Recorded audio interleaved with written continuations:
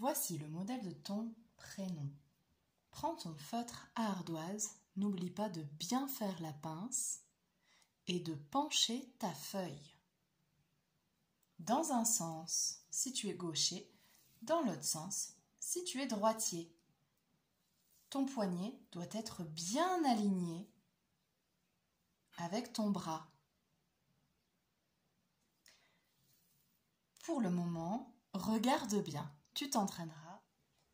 Nicolas, je fais le N en capital. Ensuite, le I, je monte tout droit jusqu'à la ligne de l'herbe, je redescends par-dessus. Je lève mon crayon pour faire le C. C, je ne le ferme pas. Je lève mon crayon pour faire le O.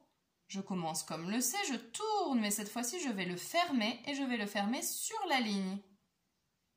Et là, tout de suite, je vais monter pour faire le L, une grande boucle qui touche le ciel et qui descend tout droit, tout droit, tout droit jusqu'à la ligne.